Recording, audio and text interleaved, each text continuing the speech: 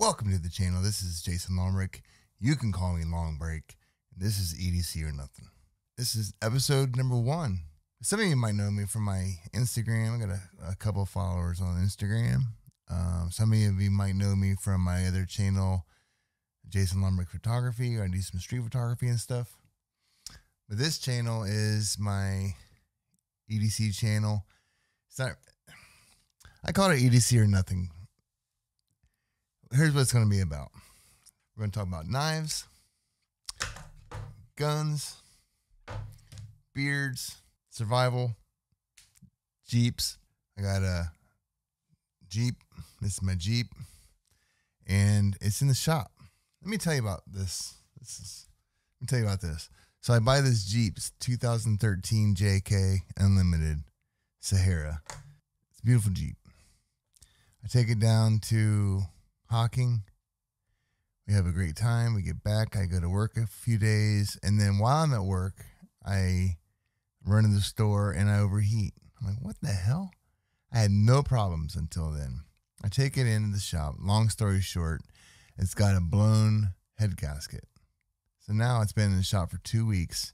They're putting a new motor in it, a new alternator, a new belt, and a new air con- AC unit.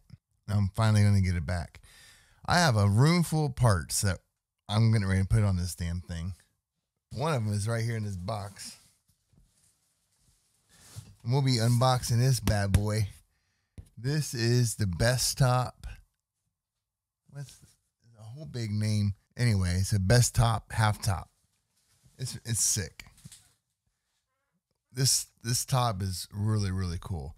And honestly, I don't see a lot of stuff on YouTube about this top. I don't get it. It's freaking awesome. And they were sold out for a while. So I know they're selling them. Uh, I got it in the black twill. So it's really good material. It'll hold its blackness and it's durable and it cleans really well. So I will do a video of me unboxing this thing and putting the install. And it'll be uh a, a quick little install, and then for those who have one and would like to see uh, step by step, let me know.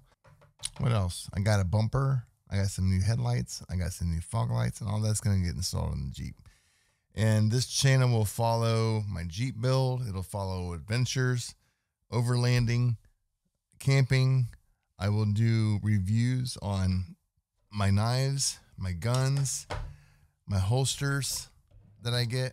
This uh, happens to be by Works. It's a, a appendix carry holster for my my Sig P65 XL.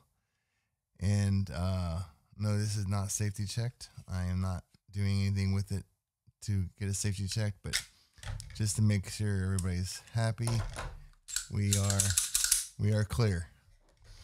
Um, this is my small carry. I also have another Walther PDP, uh, full size four inch barrel that I also carry.